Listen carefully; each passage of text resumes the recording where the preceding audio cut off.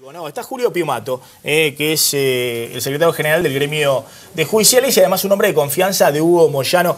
Eh, Piumato, ¿no se les va la mano a los docentes con 13 días consecutivos de paro en la provincia de Buenos Aires? ¿No hay acá una, intencionalidad política detrás? No, yo creo que no. Yo creo que no. Hay, hay varias aristas para medirlo. Hoy en el plenario de la CGT habló Miguel Díaz mm. y la crítica que se le hace a la dirigencia mayoritaria de provincia es que la situación que llegaron los docentes hoy es las concesiones que hicieron al gobierno en los últimos años, ¿no? Eh, con aceptar sumas fijas, con un montón de cuestiones que deterioraron el salario de los docentes y hoy frente a una situación de ajuste y de dispare de la inflación, evidentemente a los docentes les toca, no solo de la provincia de Buenos Aires, sino de muchos lugares del país, les toca afrontar esta crisis con salarios que son eh, paupérrimos. Yo le preguntaría al gobernador, ¿qué modelo tiene para Argentina de educación? Que los maestros sean esclavos como en la antigüedad, que los educadores eran esclavos. Se le daba un plato de comida, se le ponía una cobija y, educaban a los, a los hijos de los patrones. Entonces, ese es el modelo. Alguien piensa, hoy escuché a Baradel y estoy de acuerdo, los ministros vivirían con el sueldo de los docentes. Entonces, ¿cómo se puede pensar? Hoy, en los números nuestros de la CGT, se necesitan 6.800 pesos una familia tipo para no ser pobre en la Argentina. Como buena parte de los docentes están en ese nivel.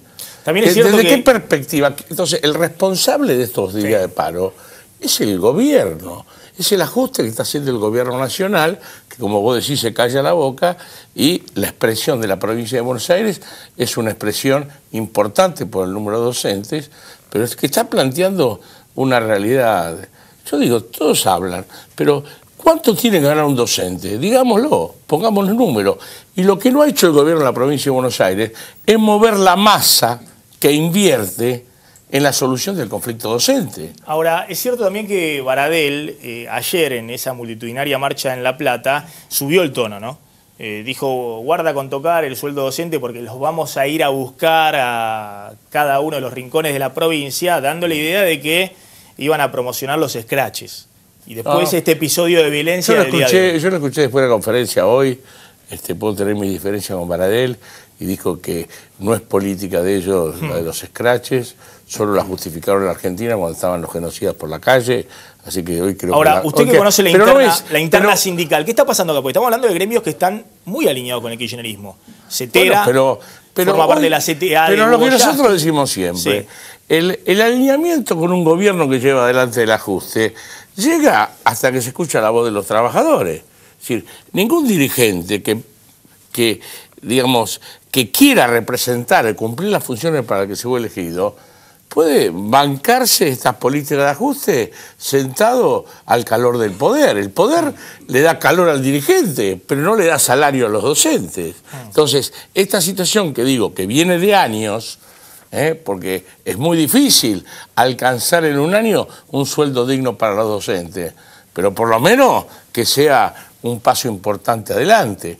Yo lo escuchaba a Baradel, evidentemente la posición, vos decís, pide el 60%. Eh, Día, Udogua, sí. No, Udogua pide 6.400 pesos de salario para los docentes. ¿Eh? ¿Entendemos? Sí, sí, era ¿A alguien le parece exagerado el Era alinear con el, salario de Santa Fe, por ejemplo. ¿A alguien le parece 6.400 un salario exagerado para los docentes? Bueno, que lo diga.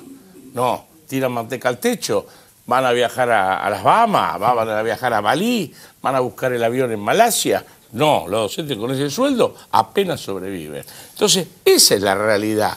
Entonces, cuando se mezcla la cuestión, cuando se victimiza el gobernador, si el gobernador quiere ser presidente de la nación, tiene que decir qué quiere, qué sueldo quiere que ganen los docentes en la Argentina porque hoy es responsable de la provincia de Buenos Aires, pero si quiere ser responsable de la nación, o tenemos que pensar que el modelo nacional de Scioli es que los docentes ganen este año, a fin de año, 4.700 pesos.